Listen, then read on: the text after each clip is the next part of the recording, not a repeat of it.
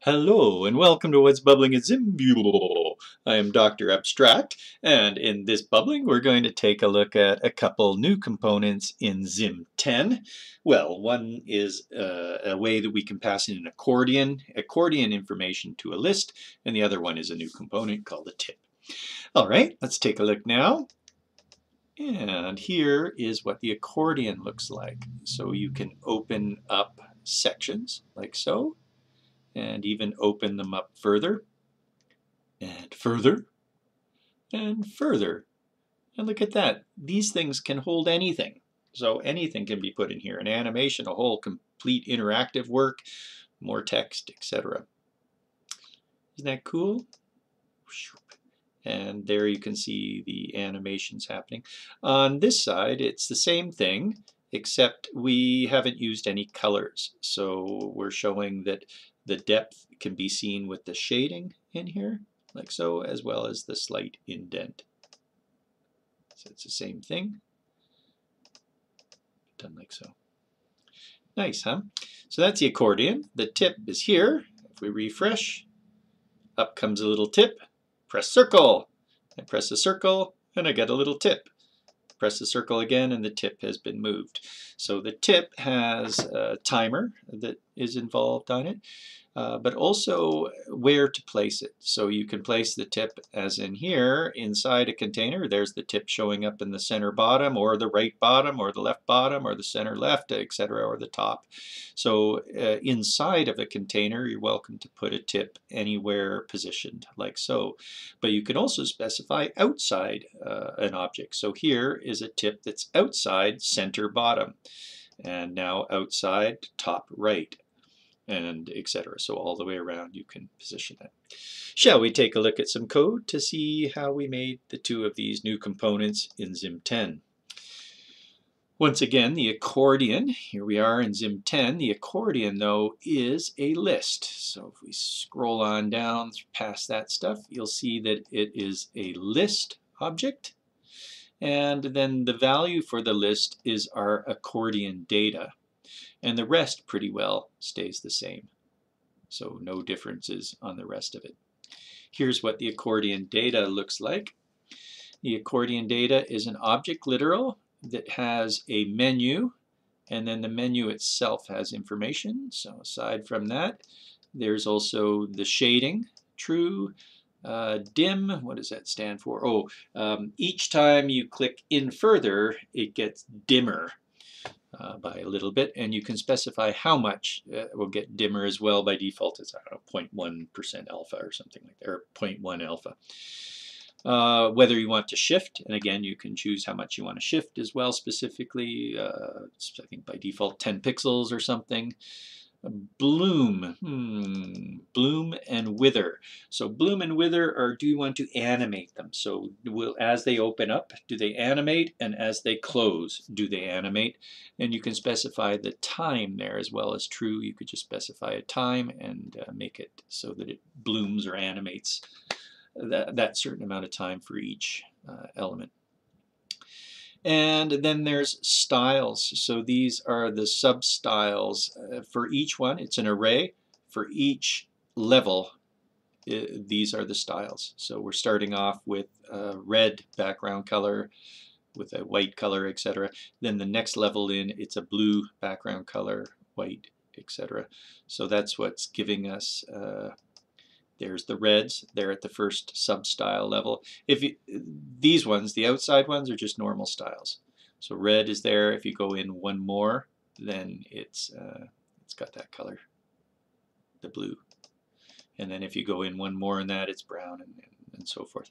So that's how you can style colors into the multiple levels all of this is the menu. Oh, did we take a look at the menu? We didn't quite. So here's here's the, uh, the menu property of that accordion data.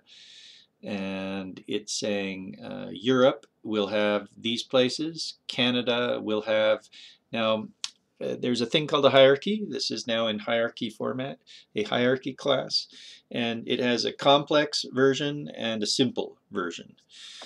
This is the simple version, uh, believe it or not. The complex version comes with IDs. And the interesting thing about the complex version is you can store, uh, right now, our, we're not using IDs, we're using these words. And that means we can store strings. But if we use the IDs, then not only can we store strings, but we could store any object. So that makes a, a hierarchy of any objects within any objects kind of thing. Um, and right now we're using the simple version where we're dealing with strings. So uh, Europe has London, Paris, and Oslo. Note that all those are leaf nodes. They're all ending. So we can put them in array, an array. If anything isn't ending, for instance, Canada has Ontario in it, and Ontario is not just a single string. British Columbia is not just a simple string, nor is Quebec. Uh, but Victoria and Vancouver inside of British Columbia, they're both simple strings, so we're able to use an array. We're able to use an array there. But anything that has more than a simple string as a value on any of these needs to be put into an object literal. So now it's an object literal of Ontario, British Columbia, and Quebec, having values of Hamilton, Toronto, and Ottawa. Because we can't use Hamilton, Toronto, Ottawa like that as an array, because Hamilton has these things inside of it. Uh, even with Hamilton, Dundas has a picture inside of it. So that means we have to go to the associated array and make our list uh, like so. Now if this happens to be a leaf node, so there's nothing in Ancaster, uh, we have to then put an empty array. We can't just keep it Ancaster like that. Uh, coming with uh, ECMAScript 6, we probably could consider doing that, but uh, we didn't. So there you go. That's a format. You can read it and weep, so to speak. uh, that's the simple format of a hierarchy, and we're storing that in the menu property of the accordion data that is all getting passed into the list here. So that helps us create a list with a nested hierarchical structure. If you want, we can take a look at the docs on that. So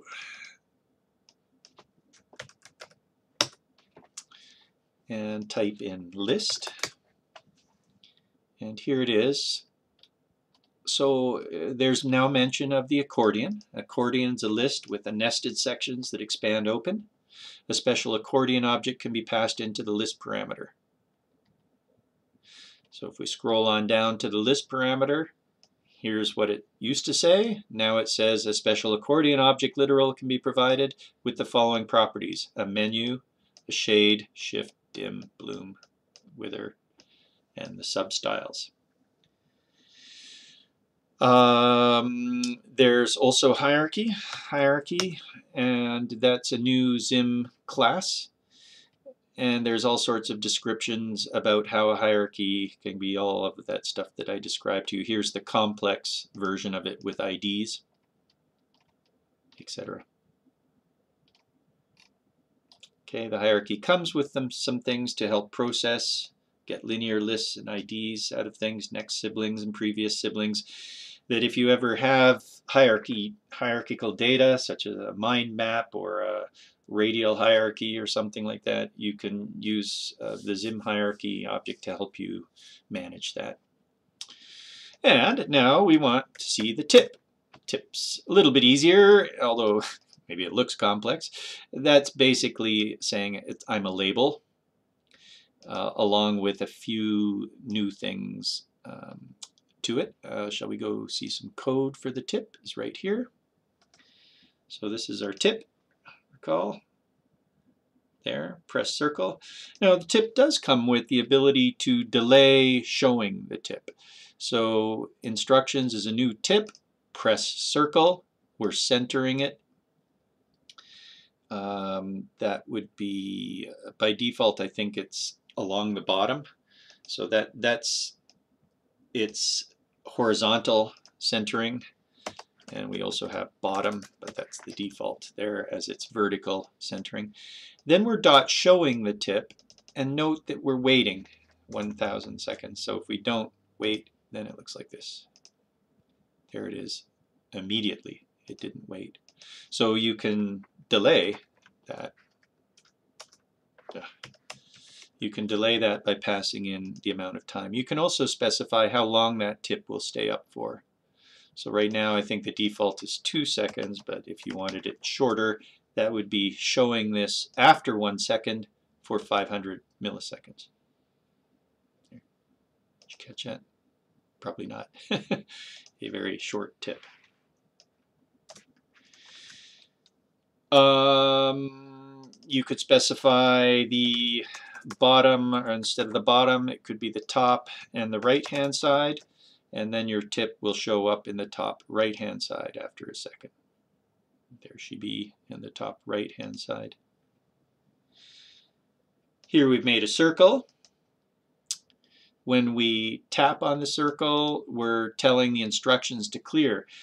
So uh, this is going to wait one second, but if we tap the circle before the instructions come up, refresh, tap, it doesn't come up anymore because we've cleared the instructions. So the instructions is this tip, instructions.clear, we'll clear that as soon as we tap, and that means it won't run.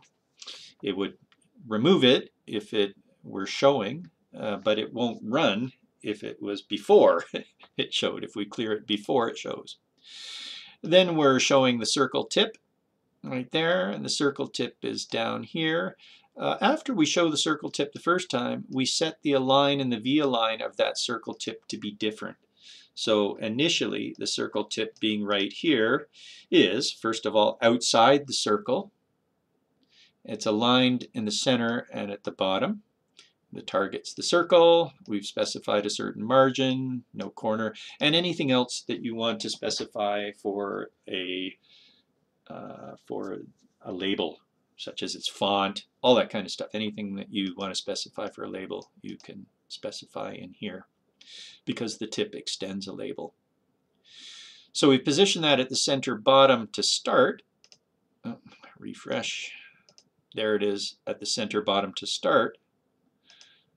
Once we've pressed the circle and shown the tip the first time, we've changed the location of the tip. So the second time and every other time after that, it's now at the top right.